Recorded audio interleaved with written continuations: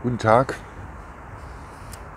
mein Name ist Baumann, ich bin Lehrer in Berlin und heute ist mein Thema mal das Wörtchen wir. Wer ist wir? Es fällt mir auf, dass es Leute gibt, die gerne ihre Sätze mit wir beginnen. Und ähm, dabei ist es häufig nicht klar, wen sie denn da eigentlich vertreten. Ja? Irgendwie das Grüppchen, was vielleicht gerade auf dem Podium steht oder eine Partei, eine beliebige Organisation, die eigene Familie oder Glaubensgemeinschaft. Wer ist wir, bitteschön? Wir zusammen, wir alle. Wir alle. Muss ich mal überlegt, was das bedeutet? Wir alle gemeinsam, zusammen. Es ist, fühlt sich warm an. Ist doch ein schöner Gedanke. Aber ich weiß, dass jeder Mensch eigene Interessen hat. Ja? Die Oma möchte vielleicht, dass Kaffee und Kuchen eine halbe Stunde länger dauern, damit sie ein bisschen länger mit ihren Enkeln sprechen kann. Und die Enkel, die wollen vielleicht rausgehen zum Fußballspielen.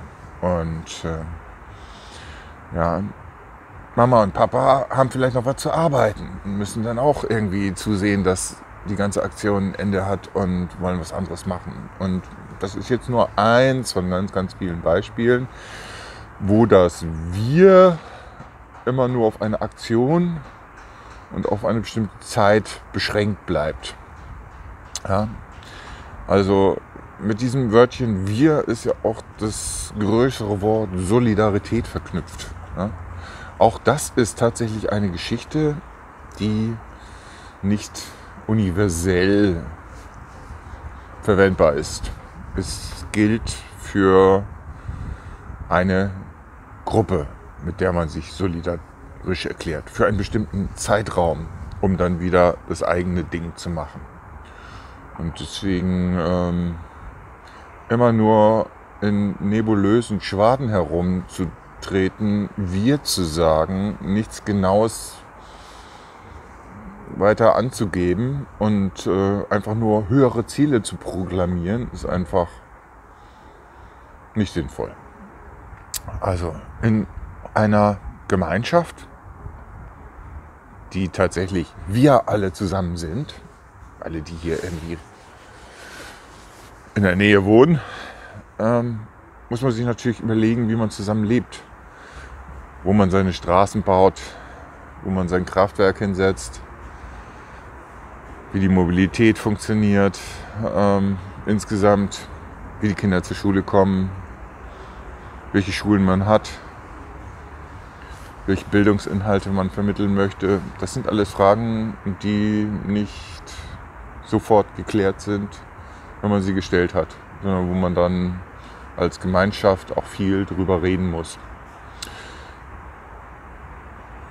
Wir, da meine ich jetzt die deutsche Öffentlichkeit, die Menschen, mit denen wir jeden Tag hier zu tun haben, haben uns leider angewöhnt, nicht alle, aber viele, die Klappe zu halten, nichts zu sagen, keine eigenen Wünsche zu äußern, weil man heutzutage ja inzwischen schon Angst hat, dass man irgendwo eine falsche Formulierung wählt und dann irgendwie schief angeguckt wird oder korrigiert wird oder in irgendeiner Weise auf jeden Fall erzogen wird.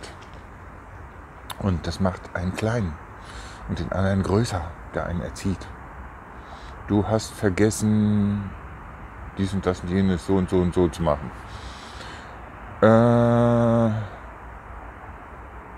eine Peinlichkeit kann ich Ihnen da sagen, die mir immer wieder passiert ist und vielleicht auch heute noch hin und wieder mal passiert. Ich bin in einer Gegend aufgewachsen, wo man wie und als verwechselt. Und wenn Sie das als Kind gelernt haben und eben nicht in den höheren Gesellschaftsschichten aufgewachsen sind, wo man ganz genau darauf achtet, dass diese Dinge richtig gehandhabt werden, dann schleift sich das so rein und das ist ein Malus. Das ist etwas, was ihnen ständig aus Butterbrot geschmiert wird und wo sie ständig merken, sie werden klein gemacht, sie werden klein gehalten. Sie sollen ihre Sachen in diesem elitären Kreis nicht sagen, nicht ausbreiten, nicht verbreiten.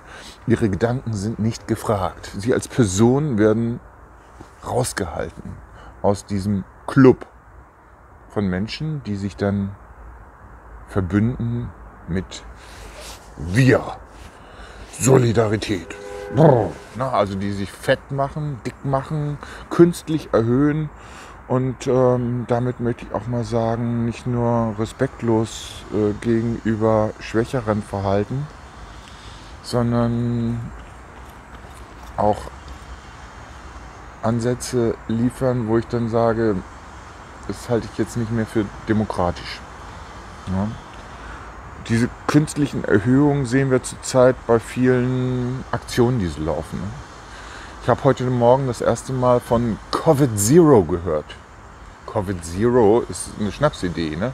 Also Viren bringt man nicht auf Null, sonst hätten wir auch die Tuberkulose ausgerottet oder wird es auch nirgendwo mehr die Bollenpest geben. Und äh, es gibt immer irgendwo ein Fleckchen, wo sich dann so bösartige Viren dann noch halten. Ebola, es kommt halt auch hin und wieder mal vor, dass die Dinger sich dann irgendwie unkontrolliert ausbreiten und das muss man dann eben in den Griff kriegen. Aber ähm, man soll sich keine Ziele setzen, die man nicht erreichen kann. Also ich würde das nicht tun. Ich habe jetzt absichtlich ich gesagt.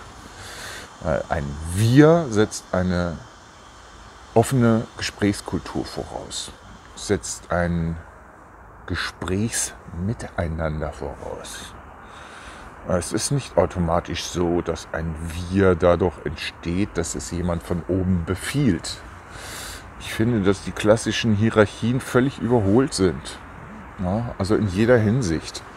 In der äh, Unternehmenskultur hat man sich da schon Jahrzehnte vorher äh, Gedanken gemacht, wie man Unternehmen so organisiert, dass die Menschen intrinsisch motiviert arbeiten, dass sie wirklich äh, sowohl für sich selbst als auch für die Firma das Maximale rausholen.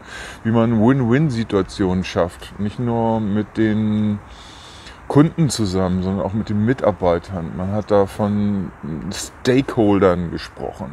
Also das sind alles Leute, die Anteil haben an diesem Business, an diesem Geschäft, an dieser Aktion, an dem, was da gemacht wird.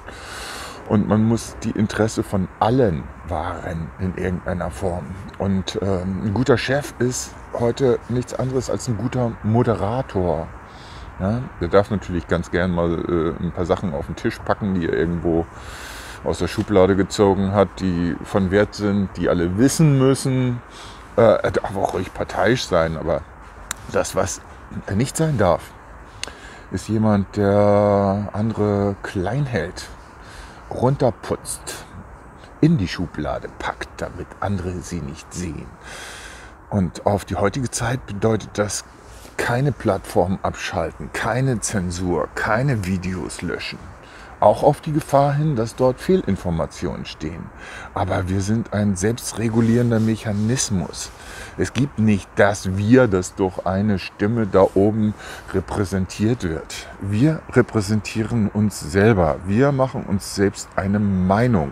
Wir packen alle Informationen auf den Tisch. Wir gucken uns das an. Wir lesen das einmal quer. Wir kommen zu Schlüssen, die wir mit anderen diskutieren. Ja, jetzt habe ich auch wieder wir gesagt. Damit meine ich jetzt die Leute, die dann gerade diskutieren, die etwas sagen, die, die Gemeinschaft, die wir sind, als solche, die hier leben einfach. Jetzt also nicht als, als Glaubensclub oder so ja? und nicht als ideologiegetriebene Gemeinschaft, die unbedingt irgendwelche vorgegebenen Ziele zu erreichen hat. Also das ist ja zum Beispiel auch nicht mein Ziel. Und das haben sie mir auch nie unterstellt hier in allen meinen Videos, dass ich hier irgendwelche Ziele proklamiere. Ne? Also das ist das Erkennungsmerkmal von Ideologien im Übrigen. Ne? Also wenn äh, Sie den Marxismus zum Ziel führen wollen, dann ist das eine Ideologie, dann ist es ein vorgegebenes Ziel, dann wissen sie, dass dann irgendwann der glücklich machende Weltkommunismus am Ende steht. Das ist eine Ideologie. Ich habe keine. Jetzt können Sie sagen, das ist ja genau der Fehler, dass Sie keine Ideologie haben, Herr Bormann. Ja, so, eine, so ein Anti-Ideologie-Typ, der überhaupt keine Vision hat. Sorry, also so ist das ja nun nicht. Ne? Also ich glaube, die meisten Menschen hier auf dieser Welt können sich durchaus vorstellen, auf die Top-Prioritätenliste erstmal das Wörtchen Frieden zu setzen. Wie wir da dann hinkommen, darüber müssen wir noch reden, oder?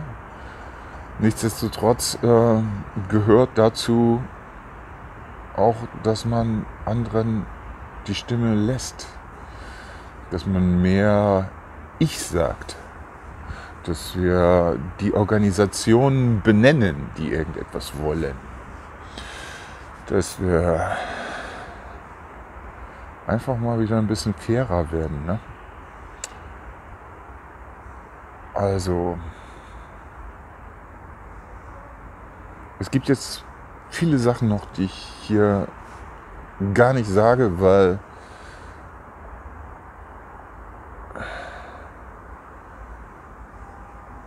weil sie noch nicht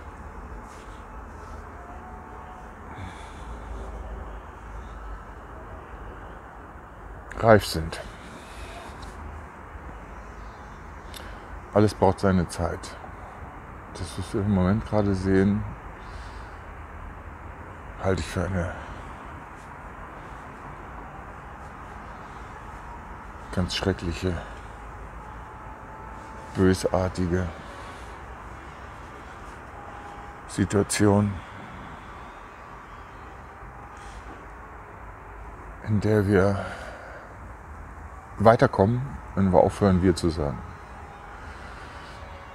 Wir müssen wieder sagen, ich meine, ich habe gehört, ich glaube, sagen Sie, wenn Sie es nicht genau wissen. Ich, nicht wir. Und wenn wir dann fertig sind mit dem Reden, mit allen, dann können wir die benennen, die etwas durchsetzen, die etwas machen, die den politischen Willen umsetzen. Also aufpassen mit. Die wollen mich wirklich ärgern, wa? In jedem Video von mir gibt es irgendwie einen anderen Tod zum Abpfiff. Also aufpassen mit den Wörtchen wir und ich und so. Okay. Ich möchte jetzt mehr ich hören von allen. Dankeschön.